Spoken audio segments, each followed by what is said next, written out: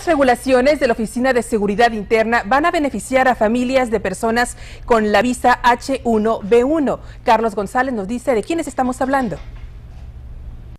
El Departamento de Seguridad Interna de la Nación publicó dos regulaciones para otorgar permisos de trabajo a los cónyuges de personas con visas de trabajo H1B1 que si en otros países les otorgan no solamente al principal que tiene la visa el derecho de trabajar, si también se lo otorgan a la esposa y dicen, nos conviene mejor irnos a Australia o a Canadá, ahora Estados Unidos tiene que competir con eso.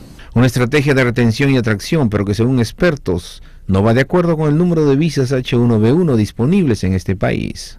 Lo que puede complementar esta buena noticia es que a la vez digan, vamos a aumentar el límite de visas anuales. Pero de acuerdo a especialistas y activistas de inmigración, este país ha sido y siempre será edificado en base a inmigrantes. Ese es el ejemplo clásico. Este país es el ejemplo clásico de un país creado a base de inmigrantes.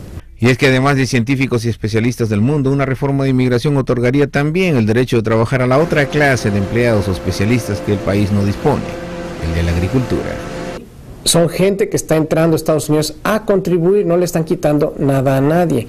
Según muchos, esta decisión ejecutiva ayuda al país.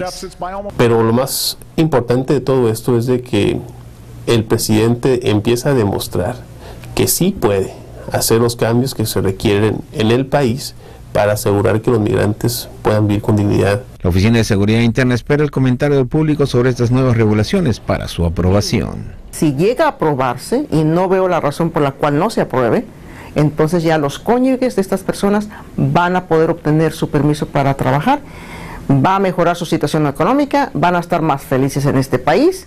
Carlos González Noticias, Univisión San Diego.